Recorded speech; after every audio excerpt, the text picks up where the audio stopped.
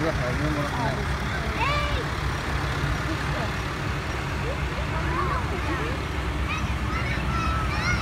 Rồi, rồi.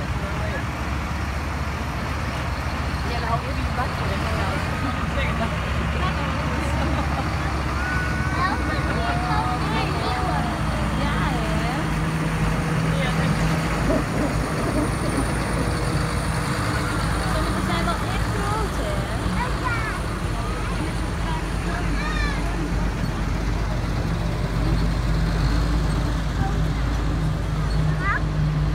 Ja, zo gek hè.